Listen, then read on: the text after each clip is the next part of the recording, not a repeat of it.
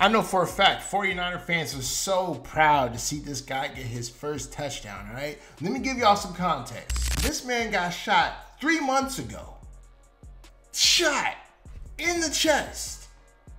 And is somehow on an NFL football field catching touchdowns. I mean, for a guy who was concerned for his life, This you know, so two cool months ago, see. that's really special. Yeah, beyond. So I gotta break down his first ever touchdown from Brock Purdy because I believe there's going to be a lot more. All right, first quarter, 4:25 on the clock. It's second and five.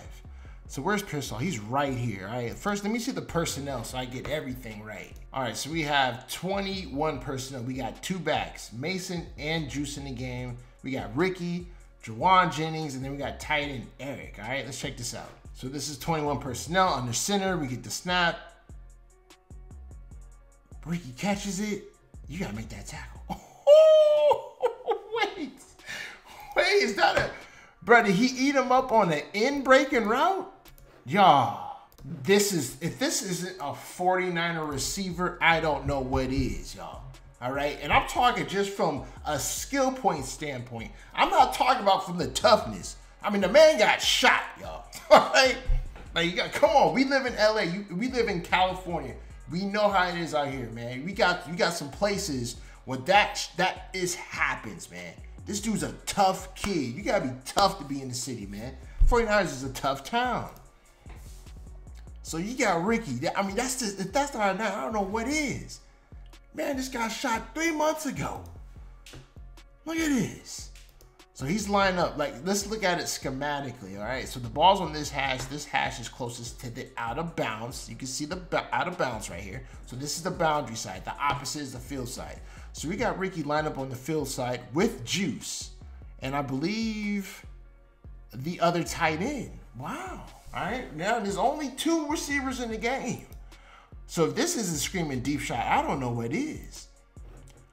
So Ricky runs right. He's right here. He runs out.